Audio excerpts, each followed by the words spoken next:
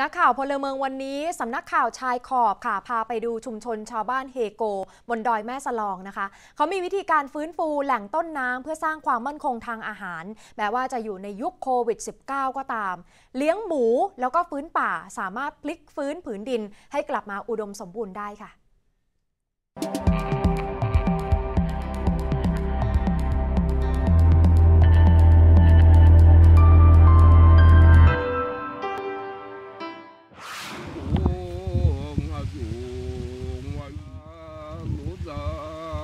เสียงสวดของผู้เฒ่าลีซู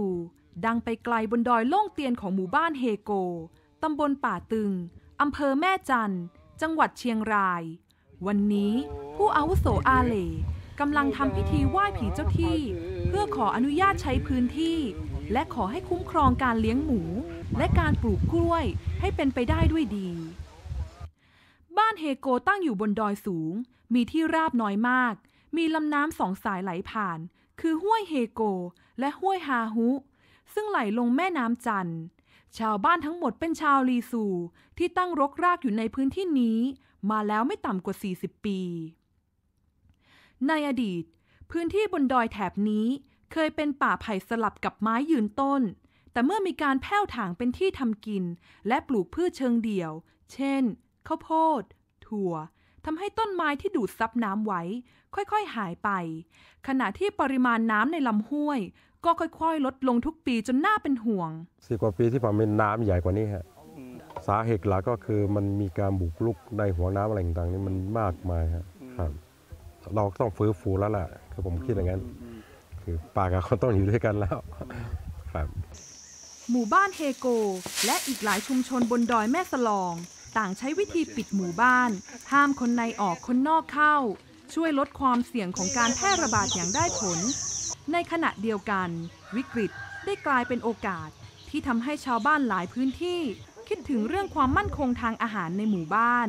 การสร้างความมั่นคงทางด้านอาหารในยุคโควิด และการฟื้นป่ารอบหมู่บ้าน กลายเป็นโจทย์เดียวกัน จึงได้เริ่มต้นทำแปลงทดลอง เลี้ยงหมูฟื้นป่า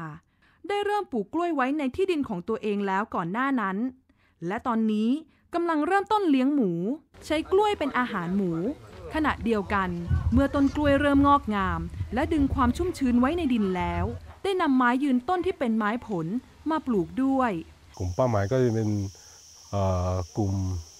คนผู้ไร้สัญชาติเป็นหลักนะครับ แล้วก็กลุ่มคนที่มีความยากลำบาก เพราะว่าไม่ได้รับ การเยียวยา แล้วก็ไม่ได้รับการเข้าถึงบริการของรัฐ ก็ถือว่าเป็นกลุ่มที่ยังมีความเดือดร้อน แล้วก็ได้รับผลกระทบโดยตรง หมู นอกจากเป็นอาหารที่สำคัญของชาวลีซู ซึ่งในอดีต แทบทุกบ้านต่างเลี้ยงหมูไว้กินเองแล้ว หมูยังเกี่ยวพันในพิธีกรรมที่สำคัญต่างๆ ของชาวลีซู ก็ต้องคือต้องมีอะคือหมู่บ้านลีซูนี่คือต้องมีถ้าเกิดไม่มีจริงๆแล้วคือไปซื้อจากเพื่อนบ้านเนี่ย ใกล้ๆบ้านเนี่ยตามในหมู่บ้านนะฮะวันนี้ชาวบ้านเฮโก และหลายชุมชน